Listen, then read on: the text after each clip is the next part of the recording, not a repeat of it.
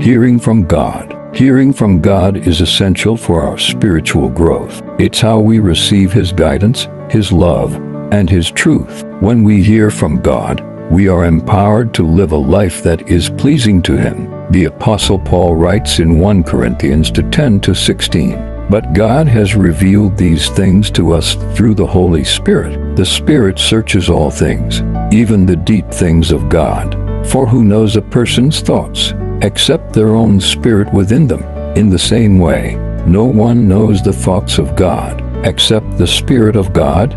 We have not received the Spirit of the world, but the Spirit who is from God, so that we may understand the things that God has freely given us. These things we also speak, not in words taught by human wisdom, but in words taught by the Spirit, explaining spiritual realities to spiritual people. The person without the Spirit does not accept the things that come from the Spirit of God, for they are foolishness to them, and they cannot understand them, because they are spiritually discerned. A powerful morning prayer for hearing from God. Let's begin our prayer by seeking God's guidance and direction. Confession. Lord, we come before you today, acknowledging our need for your guidance. We often feel lost and confused, unsure of your will for our lives. Please open our ears to hear your voice. Thanksgiving. We thank you, Lord, for your love and faithfulness. You are a God who cares for your children and guides them on the right path. We are grateful for your presence in our lives. Petition Cologne Lord. We ask that you would speak to us today. Give us a clear understanding of your will for our lives. Guide our steps, protect us from harm, and fill us with your peace. Help us to recognize your voice and to follow your leading. Surrender, Lord. We surrender our lives to you. We trust in your plan for us and your love for us. May your Spirit lead us and guide us. Biblical examples of hearing from God. Moses, Moses, received direct instructions from God on Mount Sinai. He was given the Ten Commandments and the laws for the Israelites. Samuel, as a young boy, Samuel heard the voice of the Lord calling him. He went on to become a prophet and judge of Israel. Jesus, Jesus often withdrew to pray and seek God's guidance. He heard the voice of the Father and knew his will for his life. The Apostle Paul. Paul's conversion experience was a dramatic example of hearing from God. He was blinded by a bright light and heard the voice of Jesus calling him. This encounter transformed his life and made him a powerful apostle for Christ. Remember, hearing from God is a gift that requires our attention and intentionality. Spend time in prayer. Study His hearing from God is a profound experience that can transform our lives.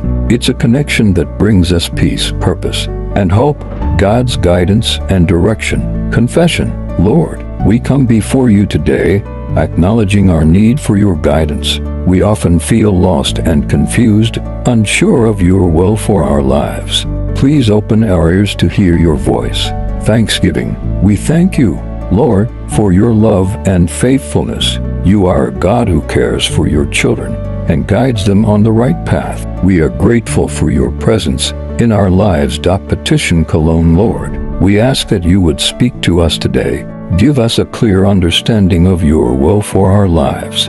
Guide our steps, protect us from harm, and fill us with your peace. Help us to recognize your voice and to follow your leading. Grant us the grace to be attentive and receptive to your guidance. Surrender, Lord. We surrender our lives to you.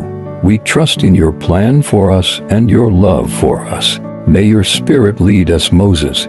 Moses received direct instructions from God on Mount Sinai. He was given the Ten Commandments and the laws for the Israelites. Samuel, as a young boy, Samuel heard the voice of the Lord calling him. He went on to become a prophet and judge of Israel, Jesus. Jesus often withdrew to pray and seek God's guidance. He heard the voice of the Father and knew his will for his life. The Apostle Paul. Paul's conversion experience was a dramatic example of hearing from God. He was blinded by a bright light and heard the voice of Jesus calling him. This encounter transformed his life. and made him a powerful apostle for Christ. Let's open the floor for questions, comments, or shared experiences. How have you experienced God speaking to you? What challenges have you faced? And how did hearing from God help you overcome them? What practical steps have you taken to improve your ability to hear from God? Hearing from God is a gift that requires our attention and intentionality. Spend time in prayer, study His Word, and seek His guidance. I challenge you to take a moment today to listen for God's voice. It might be a quiet whisper, a verse of Scripture, or a prompting in your heart. Trust that God wants to speak to you, consider journaling your experiences of hearing from God. This can help you recognize patterns and discern God's voice more clearly. Remember that. Hearing from God is not always about dramatic experiences or audible voices. It can also be through subtle promptings, feelings of peace, or a sense of knowing what to do. Hearing from God is a profound experience that can transform our lives. It's a connection that brings us peace, purpose, and hope. Thank you for joining us this morning. We hope this time of prayer has been a blessing to you. Don't forget to subscribe, like, and share this message for more inspiring content.